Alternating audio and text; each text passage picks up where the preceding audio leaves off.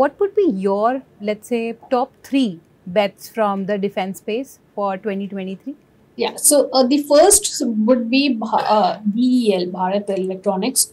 That's okay. a very good uh, st- uh, structure that I can see on charts as on derivatives point of view, on roll, uh, rollovers perspective, also quite longs, and uh, it is definitely heading for uh, you know the higher levels of 200 that we can see coming forward uh, it has formed itself a very strong base of 170 as long as that is holding it will definitely try to head towards uh, 200 so that remains the first uh, uh, you know pick from that particular space. And second would be hindustan aeronautics. Although the stock is uh, you know all in four digits it's risen so much but then it has medium term if i see it has formed a very strong good base of 2600 so 2600 it holds. You see any dip, you can start accumulating as long as 2600 is holding, and the higher targets that we can see, the higher levels of coming is around 3200 to 3300 in the in medium term. So I think these would be the top two bets from this uh, defense space space.